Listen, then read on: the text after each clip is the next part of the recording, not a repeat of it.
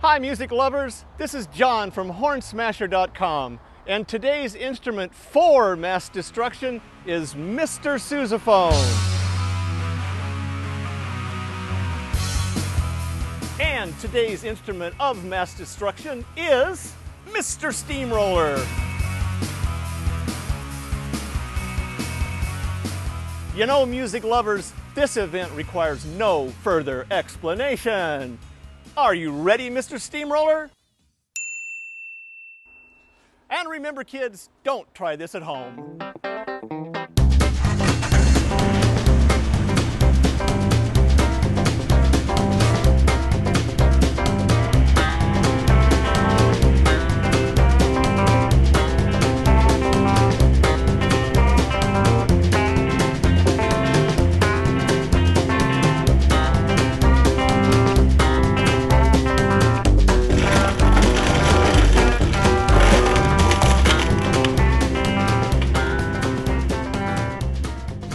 Wow, wasn't that something? You know, John Philip Sousa never even knew what a steamroller was. Isn't technology wonderful?